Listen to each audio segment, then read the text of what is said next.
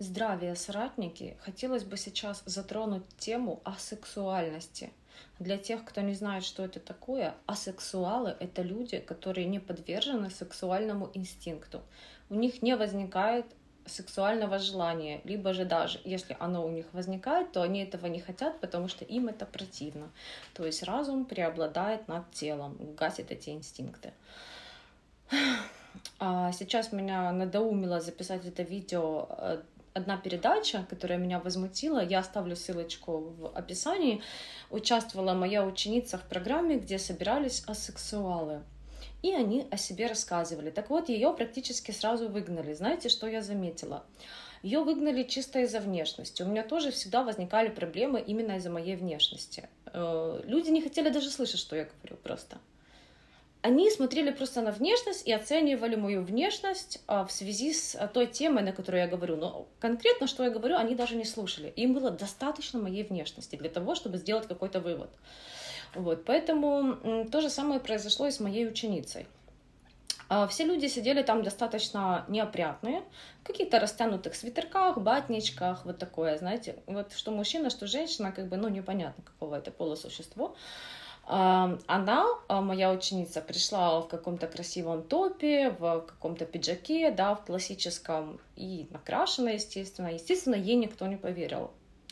И вот меня, знаете, это сразу возмутило, потому что с детства и с юношеского возраста мне все время твердили, для кого ты так красишься? Для кого ты так одеваешься? Для кого ты следишь за фигурой? Ты же мужчину себе ищешь, ты же ради мужчины. Я вам открою секрет. Никогда об этом не думала, честно. Правда, никогда об этом не думала. У меня был какой-то свой идеал, к которому я стремилась. Сейчас, секундочку, у меня, как всегда, комп начинает мешать. А, и я к этому идеалу стремилась. То есть я эстет. Я прежде всего эстет. Если бы я была мужчиной, я стремилась бы к мужскому идеалу, как бы мне, в общем-то, все равно в каком теле находиться. У меня есть как бы определенные критерии эстетического вкуса. И вы понимаете, э, меня всегда убеждали, что я одеваю там, ну, раньше я любила ярко одеваться, вы знаете, наверное, что я раньше работала фотомоделью, потом певицей. И, естественно, для таких профессий нужно очень ярко одеваться, красиво краситься и так далее. И мне уверяли, что я это делаю ради того, чтобы найти мужчину. Хотя, на минуточку, я со своим мужем вместе с 15 лет. Мы в 15 лет познакомились, и вот до сих пор мы вместе. Как бы какого мужчину я еще непонятно. Ну, для некоторых они даже не верят, что я замужем. И некоторые люди заходят, где я там говорю что-то про своего мужа и говорят, а вы что, замужем? А вы что? Такое чувство, знаете, что я какое-то, не знаю, божество, что я никому не нужна. Они так удивляются, что я замужем. Да, я замужем. Э, я вышла замуж 21 э, год. То есть еще не сразу, конечно, мы поженились. Сначала мы были подростками, потом еще думали, потом вместе жили, только потом мы решили пожениться. Вот, а, поэтому, конечно, меня это все удивляет. Почему сразу? Вы понимаете? Вот что-то ты для себя делаешь, что-то тебе нравится, это только ради мужчин. Вот, девушки, вот скажите, у вас такое было? Я вот уже по чесноку скажу вам, что я много чего делала ради девушек, потому что мне приятно, когда оценит девушка, вот честно. Я не знаю, как для вас, а, я вообще люблю красивых людей. Я очень люблю красивых девушек, красивых мужчин. Я могу на них любоваться. То есть у меня нет какой-то ревности, знаете, ну, типа увидишь какую-то девушку красивую и думаешь, вот, что вот она такая же, как я, красивая надо ей какую-то гадость написать, сейчас понижу самооценку. У меня такого вообще в принципе не бывает. Даже если, например, мне условно не нравится какой-то типаж да, человека, ну, чисто такое инстинктивное ощущение отторжения, но этот человек мне пишет хорошо, то у меня моментально пропадает какая-то ну, знаете, предвзятость к этому типажу, я сразу же располагаюсь и начинаю общаться именно, как, знаете, душа к душе. Сложно это описать словами, потому что я эмпат. Или же, например, мне человек ничего плохого не написал, а, внешность у него нормальная, но я чувствую, что он пришел с целью меня оскорбить. Но есть некоторые люди даже, они задают вопросы в таком стиле, что они оскорбляют и сразу же задают вопрос. Как недавно мне какая-то женщина написала, что вот она там не поняла, что там она не поняла, кстати. Меня еще так это удивило. Вот иногда, знаете, какие-то вопросы, которые люди не понимают, для меня это оскорбительно объяснять, потому что это любой нормальный человек понимает. И только тупой бот не понимает. И я чувствую сразу себя очень как-то неудобно, когда я начинаю объяснять логичные вещи. Например, почему трава зеленая? Вот объясни. Ну, потому что она зеленая. Сейчас постараюсь вспомнить, что же там был за вопрос. А, по поводу матрицы. Вот мужчина меня спрашивает, Валерия, вот вы говорите, что вы вообще не матричный человек, и в то же время вы недавно сказали, что вы находитесь в матрице. Но это же понятно, в каком контексте я говорила, это же нужно брать контекст. Я говорила, что я не матричный человек, потому что я не придерживаюсь матричных ценностей. И в то же время мой, извините, биоробот, мое тело, оно такое же, как у вас. Я в ней, но я не живу по ее стандартам. И как это можно вот объяснить? Ну, по-моему, логично в контексте слушать информацию а не вырывать слова из контекста и искать несостыковки. И эта женщина спрашивает, Валерия, объясните, вот как это так? А то такое чувство, а, и, и скажите мне свою дату рождения, когда вы были Марией Оршич. Я хочу знать вашу дату рождения. Я родилась, чтобы вы знали, 31 октября 1895 года, если вам это что-то скажет. Так вот, она спрашивает, скажите мне дату своего рождения, если вы знаете и объясните все. Это что-то такое чувство, что вы бредни несете. Вот люди, они считают, что они нормально могут задавать вопросы, оскорбляя, и кто-то будет перед ними оправдываться, отчитываться. Вот такое неуважение. Поэтому к нам, ко всем, вот такое неуважение, что мы живем ради того, чтобы кому-то понравиться. Мы, извините, стрелочки красиво рисуем на глазах, чтобы мужику какому-то понравиться или что-то еще, вот честно. Меня это поражает. И я еще вчера опубликовала ВКонтакте две выдержки из книги Тайша Абеляр и Флоринды Доннер про женщин-воина. И я хочу вам показать эти статьи. А, я давно читала эти книги, вчера вот перечитала статьи, скинули соратники. Честно сказать, я так расстроилась, я давно не ощущала себя так, такой разбитой а, после прочтения этой статьи, как знаете, как будто все сполыхнуло. Я хочу вам ее показать, но вначале хочу немножко прокомментировать я действительно являюсь асексуалом, но я могу сказать, что у меня, да, было это желание. Э, не было такого, что прям совсем я не испытывала это желание, но у меня было к нему как бы отвращение. И чаще всего, скажу вам честно, это желание было, когда я была не, в трезвом виде. То есть в трезвом виде у меня его, в принципе, не было. А как мы знаем, обычно э, как раз-таки за эти желания отвечает определенная микробиота. Ну, как некоторые говорят, я не хочу бросать есть мясо, потому что тогда у меня пропадет сексуальный инстинкт. Да, повышенный инстинкт, который не ваш, который от бактерий пропадет. Ну, ну как бы обычно все будет как раньше, я так считаю. Вот. Но я уже вам говорила, у меня есть видео про целебат о том, что сексом я не занимаюсь. Опять же таки, знаете, вот даже этот параметр, что я не занимаюсь сексом, я не возбуждаюсь, я не занимаюсь анонизмом и не занимаюсь сексом, в принципе. Даже уже вот этот один пункт отличает меня от людей матрицы, потому что они без этого не могут. Но я знаю, что среди моих читателей есть такие люди, как я. Э, честно, я была безумно счастлива увидеть вас, потому что в реальности я таких людей не знаю. Поэтому, когда я вижу таких соратников, как вы, я успокаиваюсь сразу, мне становится гораздо легче. Как прекрасно, что мы с вами друг у друга есть. И сейчас я вам зачитаю эту статью. И, собственно говоря, пишите свое мнение об этом. Это очень такая скользкая тема, потому что для многих людей секс и еда — это единственное в жизни удовольствие. Но я считаю, что есть люди, их на моем канале достаточно, которые могут из этого что-то полезное для себя вычленить, особенно если они одной, одни, одним шагом вот у той матричной жизни и другим у этой.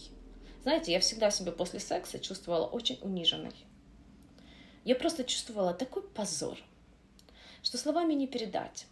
И когда я где-то описывала это в постах, мне говорили, что, видимо, какой-то не такой мужчина, видимо, я не получаю удовольствия и так далее. Это просто полнейший бред. Мужчина, которого я очень люблю удов... с удовольствием у меня проблемы не было. Я могла настроиться и за один сексуальный акт получить три оргазма. Я никогда ни у кого такого не слышала. Действительно, у меня это было. Но это не какое-то такое, ах, те удовольствие, понимаете? Блин, ну, все мы разные, у всех гормоны по-разному работают. Да, какое-то удовольствие. Ну, честно, во время медитации лучше получаю удовольствие. Когда роллы ем вегетарианские, тоже приятнее как-то. Ну, вот такое. Ладно, все, переходим к статье. Я забыла показать фигура. Вот мне часто обвиняют, что если бы я действительно не хотела секса, я бы ела все подряд и имела бы нормальную женскую фигуру. А так у меня ребра удалены. Вот такое даже я слышу. Вот у меня фигура. Сейчас, секунду. Как видите, есть пресс, есть мускулы. как бы талия действительно очень тонкая. И мне говорят, что эта фигура нужна для мужиков, покорять мужиков. Я вам скажу так. Это тело как мой девайс, мне в нем удобно, мне в нем комфортно, оно выносливое, оно сильное, энергичное. Мне нравится, когда тело поджарое, нет лишнего. Я чувствую себя ребенком. Я считаю, что у меня детское тело. Вот такие талии, например, существуют только у детей. И то не у всех.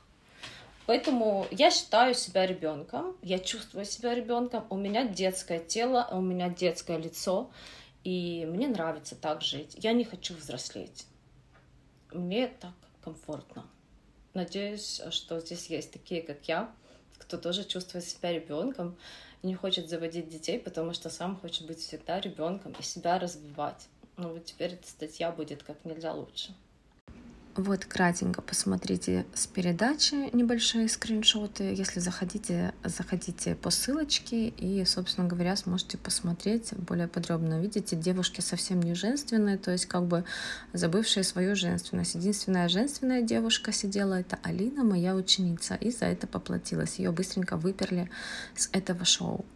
А сейчас я начинаю эту статью.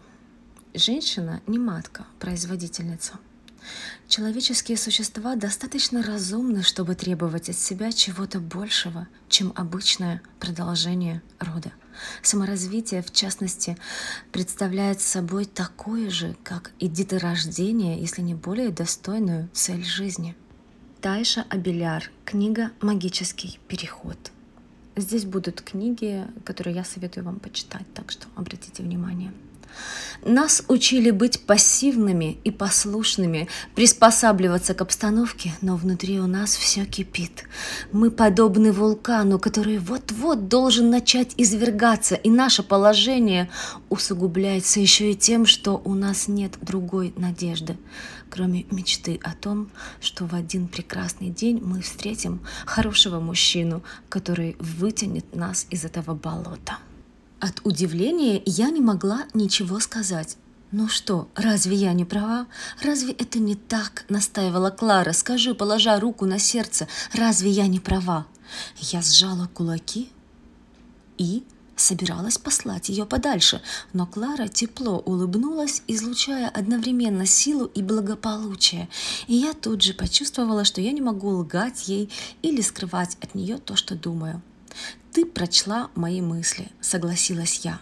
Мне пришлось признать, что единственным, что придавало смысл моему ужасному существованию, кроме занятий рисованием, была надежда на то, что когда-нибудь я все-таки встречу мужчину, который поймет меня и оценит по достоинству все уникальные качества моей личности — Клара объяснила, что я была воспитана, как и каждая другая девушка, своей матерью, которая считала, что главное в моей жизни – удачно выйти замуж и не носить на себе клеймо старой девы. В действительности женщины вносят большой энергетический вклад в поддержку человечества, чем мужчины. И для того, чтобы они могли выполнить эту функцию, по всему миру их воспитывают в духе повиновения мужчинам.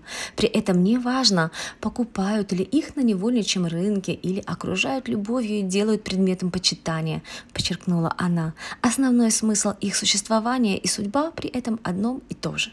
Питать и защищать мужчин, служить им. Жесткая правда состоит в том, что подчиненное положение женщин является не просто социальной условностью, продолжала Клара, а фундаментальной биологической закономерностью, хотя в мире людей принято считать, что половой акт нужен прежде всего для целей продолжения рода. У него есть и другая, неявная функция, которая состоит в том, что он поддерживает непрерывный поток энергии от женщин к мужчинам.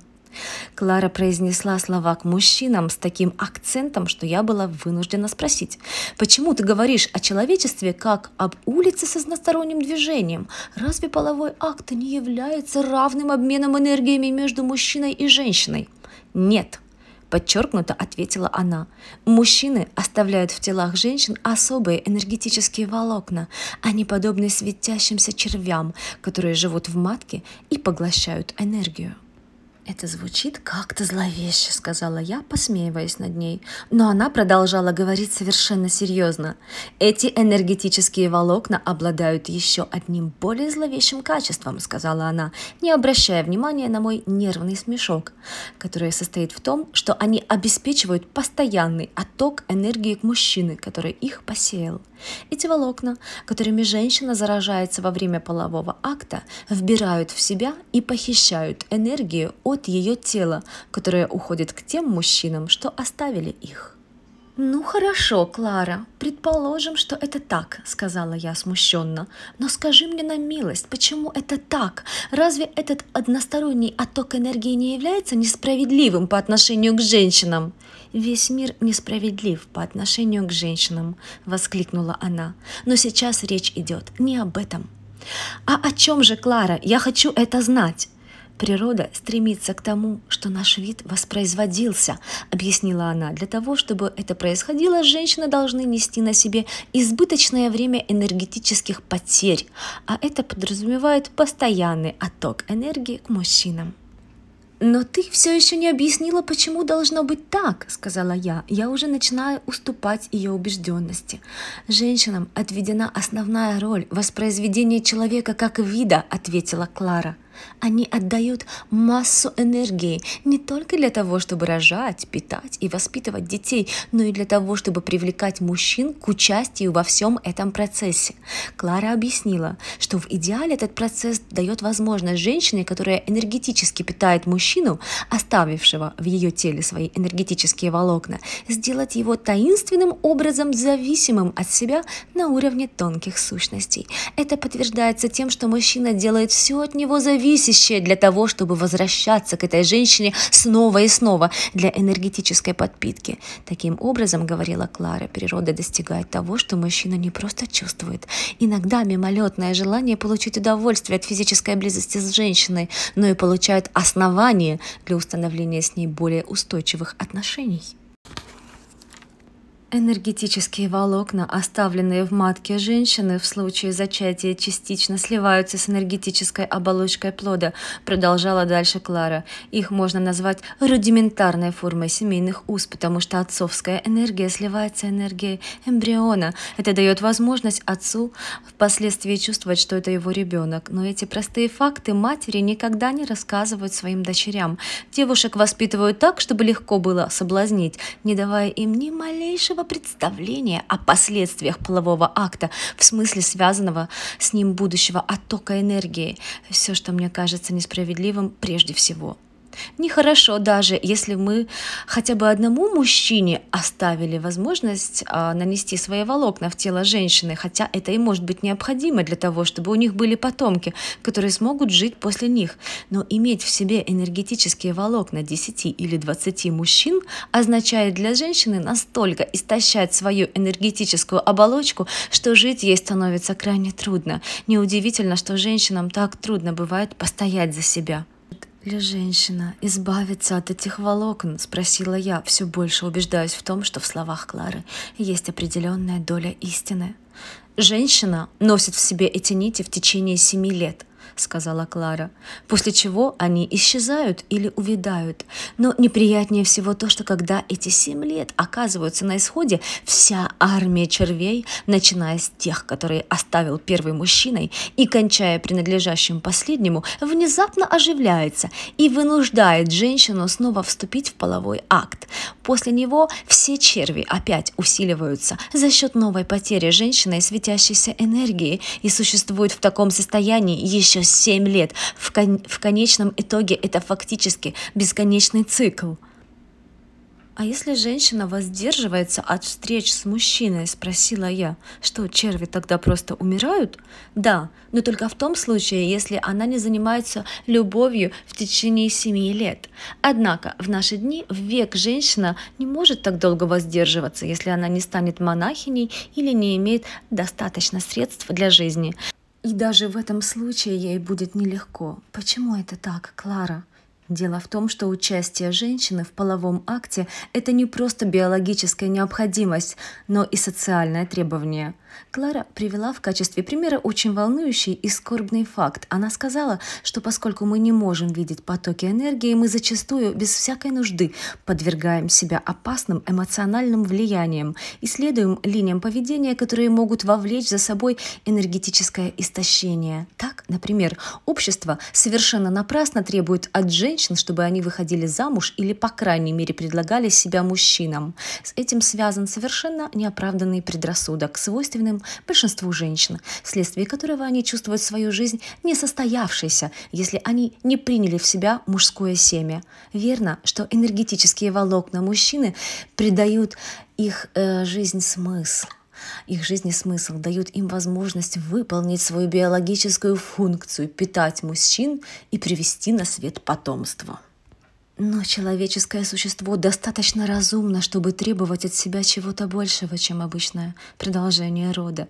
Она сказала, что саморазвитие, в частности, представляет собой такую же, как и деторождение, если не более достойную для человека цель жизни, и что эта ориентация подразумевает открытие перед женщинами их истинной роли в жизни человечества – Затем она заговорила обо мне лично и сказала, что я была воспитана, как и каждая другая девушка, в своей матерью, которая считала, что главное в моей жизни – это удачно выйти замуж и не носить на себе клеймо старой девы. И действительно, я была воспитана как животное для того, чтобы вступить в сексуальные отношения и дальше жить так. Как и всех женщин, тебя обманом и силой заставили подчиниться этому требованию, сказала Клара.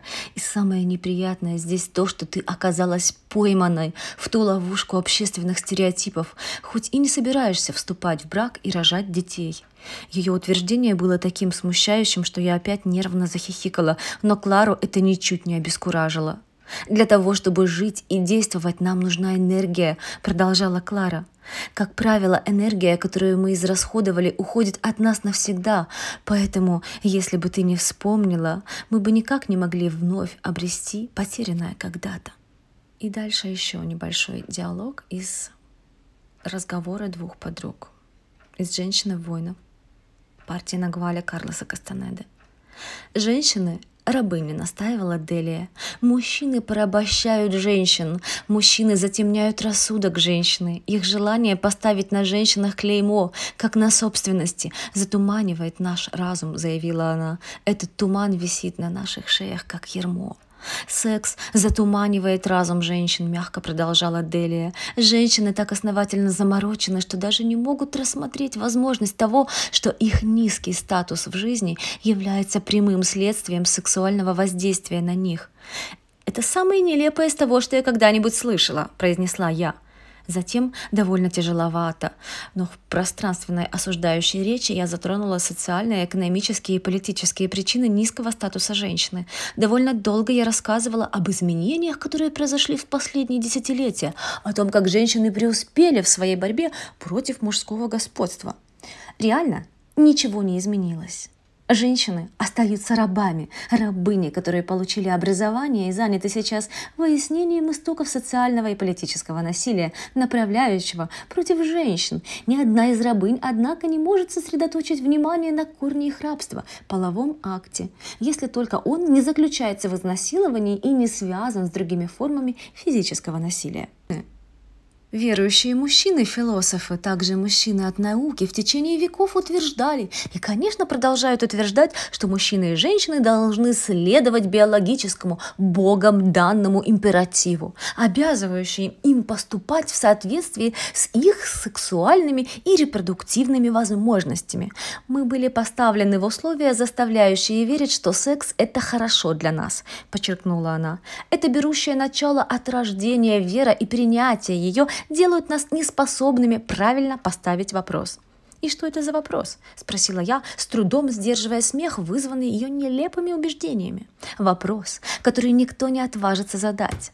Это что делать нам, женщинам, чтобы занять соответствующее положение? «В самом деле, Дели!» – воскликнула она в притворстве и в испуге. «Что делать?» Затуманенность разума женщин настолько тотальна, что мы готовы касаться всех других вопросов нашего положения, за исключением того, которое является причиной всего, заявила она. Но, Делия, мы не можем жить без секса, засмеялась я. Что случится с человеческим родом, если мы не... Она прервала мой вопрос и мой смех повелительным жестом руки. В настоящее время женщины, подобные тебе в своем рвении относительно равенства, продолжают подражать мужчинам, сказала она. Женщины имитируют мужчин в такой доходчивой до абсурда степени, что секс, которым они занимаются, не имеет никакого отношения к рождению человека. Они приравняли свободу к сексу, даже не рассматривая, что секс дает для них физическое и эмоциональное здоровье. Мы подвергаем подвергались настолько основательному внушению, что твердо верим, секс является для нас благом.